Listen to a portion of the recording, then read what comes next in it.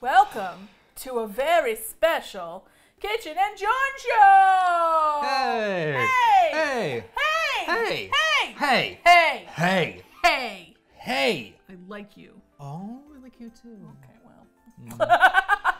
Uh, as as some of you may notice, I am not Jorn. No, uh, Jordan is actually filming this today. This episode of the Kitchen and Jorn Show actually uh, features only kitchen, and I'd like to introduce you to my lovely wife. Yes, hi, I'm Brie. That's me. Like yeah, the like the cheese. cheese, spelled spelled uh, spelled that way.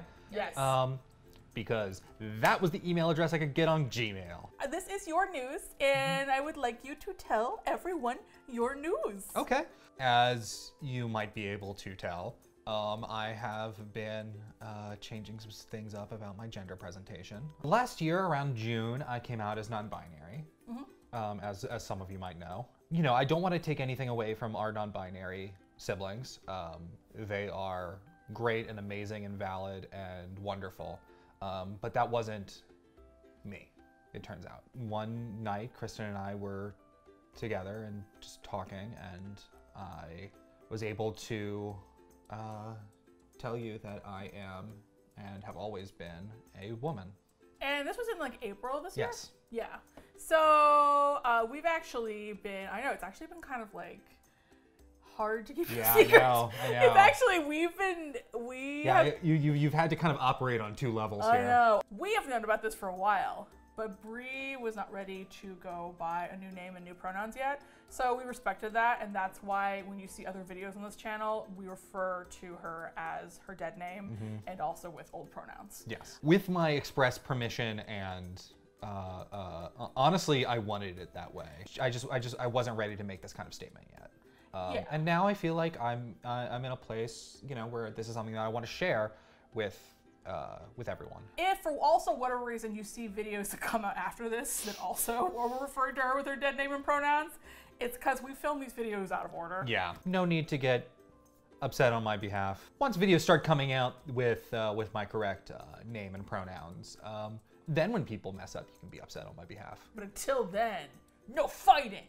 I love fighting though. You We do will- love fighting. We will fight bitches. We will Yeah. fight people. Yeah. TERFs. Uh, your chosen name is actually very similar to your dead name. It is, it is. And that's not a direction that a lot of people go with. I mean, I was just idly thinking like about about names and you know, I stumbled upon just going from dead name to Brie and I was like, huh, that's really cute. Maybe I should just stick with that. Be easier for people probably. And I was at first I was kind of worried about that. Yeah. Because honestly, I thought that you were going to not like how much it sounded like your dead name. Yeah. I thought that you were making the choice because it was going to be convenient for others Mm-hmm. and not because you liked it. And so I was just like, "Are you sure?" And then you would be like, "Don't worry, and so we don't have to change monogram towels." And I'm like, "We don't have monogram towels." But it's been several months and you Yeah. this is the name. This is the name. This is the name. People are using it. I'm answering into it. Yeah, you, You were know, able to secure all your socials. Yeah. So don't try and squat. You squat on those socials, fight you. Don't squat on my wife's socials. People might ask why make a video about this, because this channel is about you and Jen. It's not about you and the beautiful woman who lives in your house. Uh, to that, I would say we wanted to find a way to disseminate this information as quickly and as cleanly as possible. Yeah. Like for example, you can make tweets and Instagrams and like announcements about a video, but it's really hard to make a video about like a tweet. So with this, we can make a video. We can kind of spread it against all channels at the same time. And honestly, that's easier for you. It's easier for me, yeah. This is this is uh, one of the reasons why I uh, felt comfortable to come forward to, to, to do this is because it's just efficient, and as an engineer, I just prize efficiency. yeah. Because I'm a big old nerd. You are such a nerd. Yeah. I now, not we- to be a stereotype, but yeah, the worst thing is to continually have to come out a mil- explain. yeah, and, and and to have to remind people, and you're not sure who saw and who didn't. But now You just point to the video and be like, Yeah. "You didn't watch the video." you didn't, and that now I'm mad on your behalf. Yeah, exactly. Yeah. now you've hurt two people. Exactly. We're gonna fight.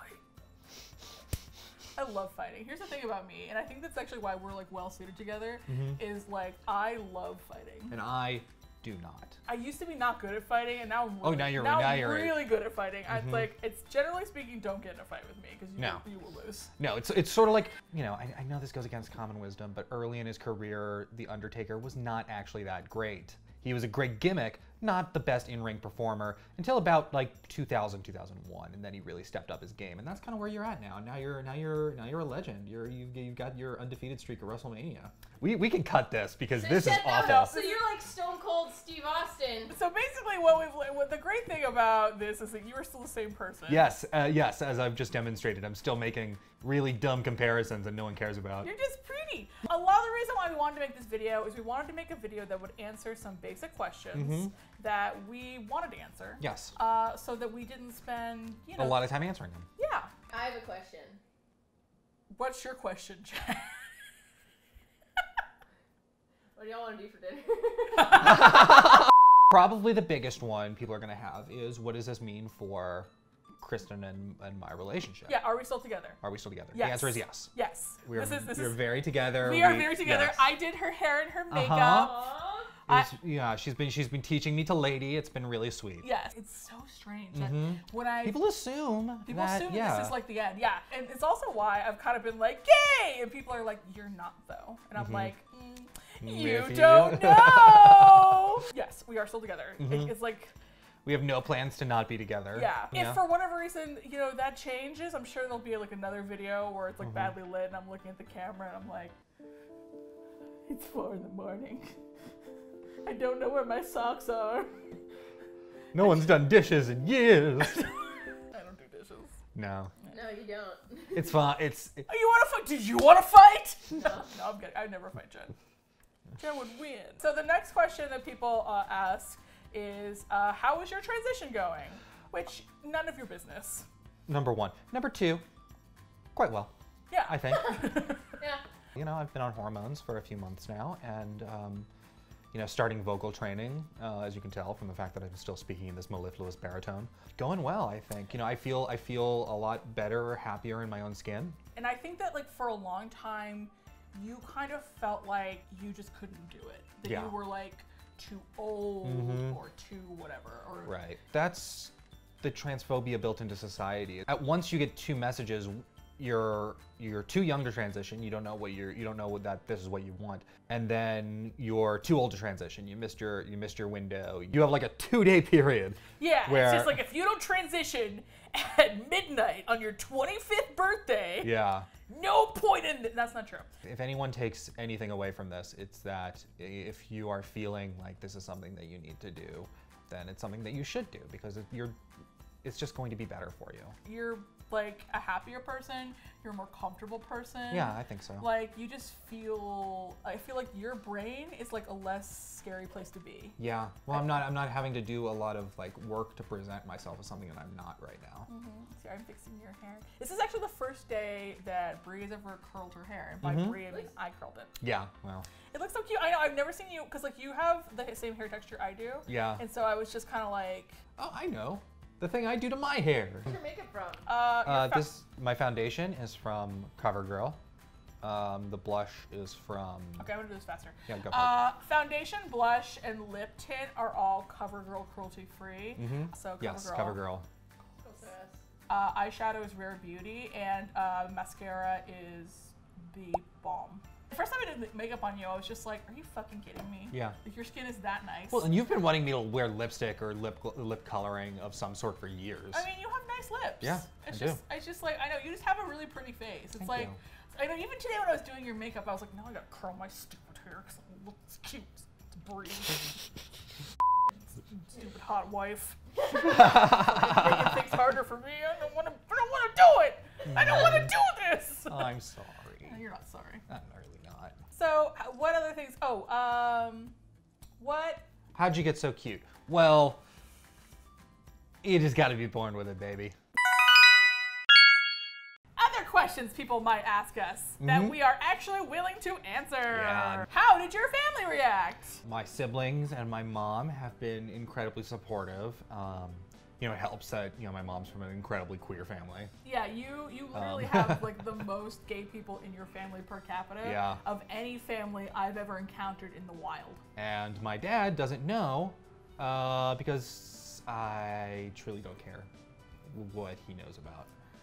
Oops. Yeah, well, shouldn't have done that, Todd. How did my family react? Um, Fine. fine.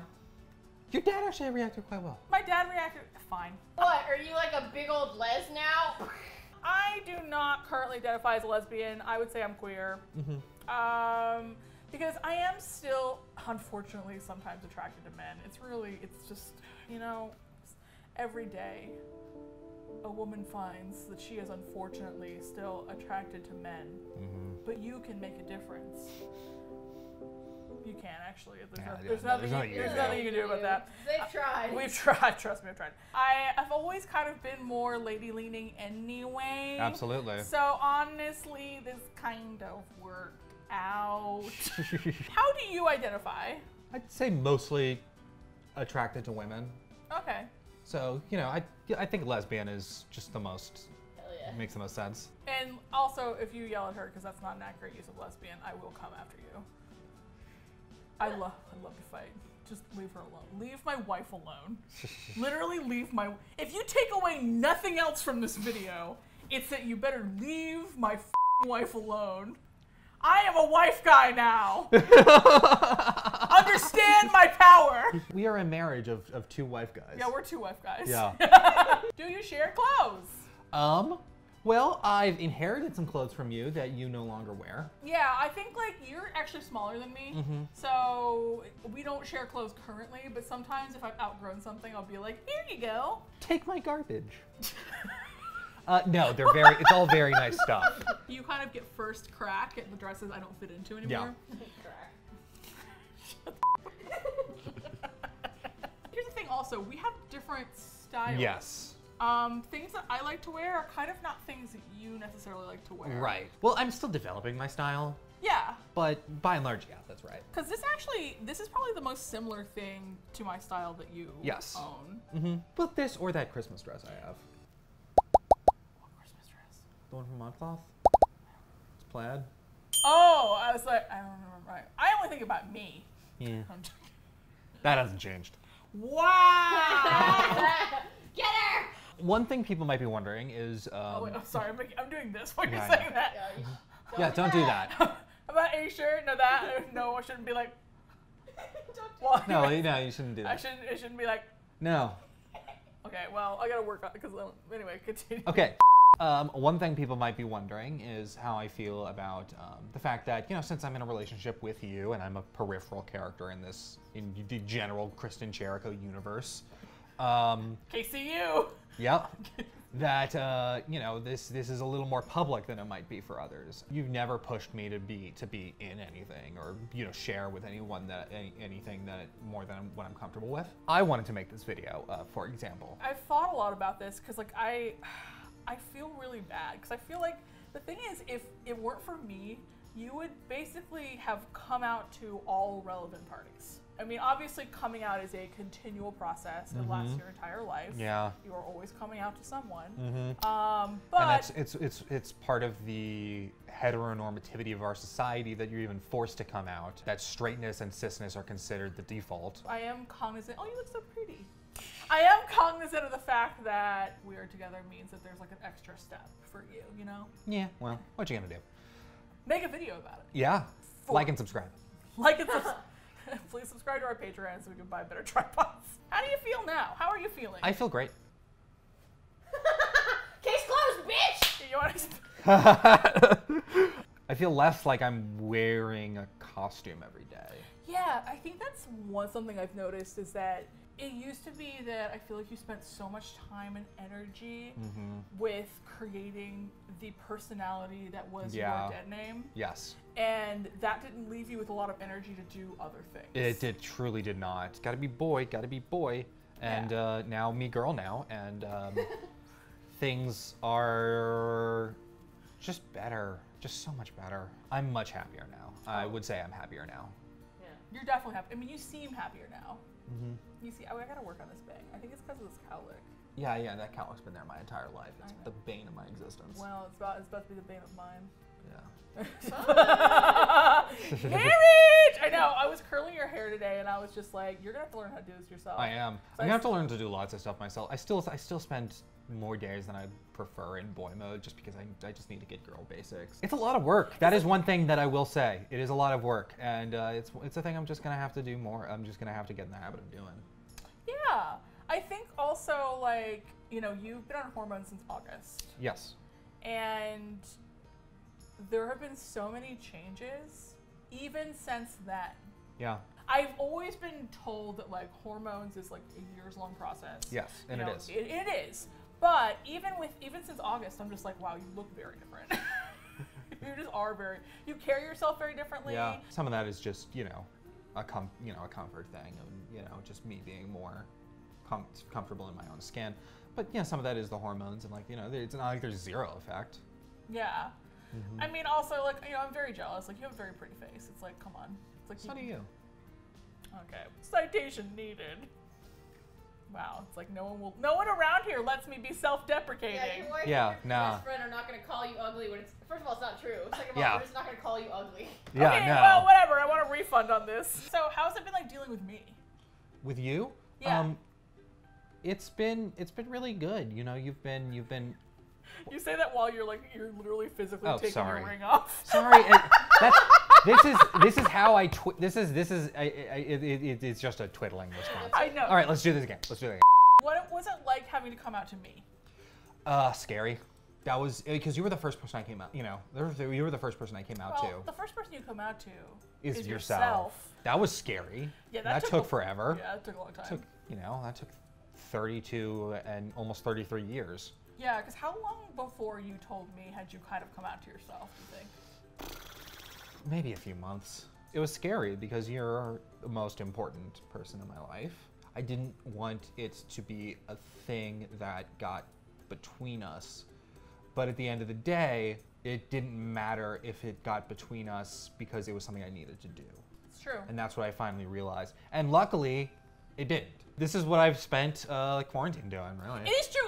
It is funny because I feel like a lot of our friends haven't seen you They haven't. since before quarantine. No. You kind of went into quarantine in boy mode, Mm-hmm. and then you're going to emerge as the woman you have always been. Exactly. The thing is, your skin's so soft now too. It's like the thing is, I, I, I, I need to I need to get laser on my arms oh at my some God, point. I feel like every time it's like compliment, you're just like, but what But- about the, but the what if it could be better? Yeah, and it's like welcome to womanhood, I guess. Yeah, Honestly, I mean, you have been doing that for eight years, Yeah. and uh, it pisses me off to no end. So, uh, turnabout is fair play, It's true. bitch. Yeah! You know, here's the thing: is that there's so many ways in which you are kind of integrating yourself into the female experience. Mm-hmm. You'll kind of look on Instagram and be like, "I'll never be as hot as her," yeah. and I'm just like, "Listen, just take your titty pills Mm, and calm down." yeah. I know it's it's only been three months. It's been three months. It's so amazing how different you are, though. Mm-hmm. Like, I think you know when we come out of quarantine, people are gonna be like, "What the heck? Who is Yeah, 'cause this we'll- hot woman who's Uh, been living in your house?" so anyway, that's our video in which my wife comes out. Yeah. We'll probably make more content about this, Mhm. but this was a sort of an informational seminar, just in case you would like some knowledge. Mm-hmm. Just uh uh uh. Shit, I had a pun. My wife. Ma- Wasn't that? Here's the thing. Now we can both say my Yeah. wife. Yeah, give it a give. Just Just give it a give it, try. give, give it a try. Give it a try. My Let it- wife. yeah, yeah. It- it- how do you like the the mouth feel of that? It's Wait, it's wait, good. wait, Brie do it. My wife. She's better than you. Yeah, I know. I've had practice. She has more experience. Brie is here. She's a part of Mhm. this house, and Yeah. We're very happy that she is happy. Mhm. And if you get on the internet and you yell at her, I will find you. She will. I will fight Uh, you. you know, she'll just just insert the whole taken speech. I will fight you. If you f- are transphobic on this channel, I swear to God. Yeah. There, yeah, yeah. There's, there will be no. The tolerance. hammer's coming down. There will be no toleration. Obviously, there was never any toleration for transphobia, but now that there's more things to talk about in relation to trans issues, there really is no tolerance for transphobia. Just when you're typing, be like, would I want Kristin to show up to my house and With tell a ball peen hammer and just And a sock full of nickels. yeah. Yeah, would you want? Would I want Kristin to show up while I'm sleeping with a sock full of nickels, telling me that she knows all of my childhood fears, and saying that she laundered all my money and now is gonna take it to buy a jet ski in Cancun? If the answer is no, don't write it. Mostly just because jet ski maintenance is I don't want to do it. It's Here's the thing, yeah, it's like if Kristin doesn't want to do something, it might still happen, but if Brie doesn't want to do something, it's definitely not happening. so be nice, be cool. Mhm. This is a friendly zone. Yeah. It's all girls. It is. It's all girls hour. Mhm, Um, Just just girly things. just girls who like girls. yeah. Rules! Kitchen and Jorn, now 50% gayer than it was before. Yes. Anyway, Anyway, bye. Bye. Love you. Love you. Bye. Aw, this is so cute. Mm.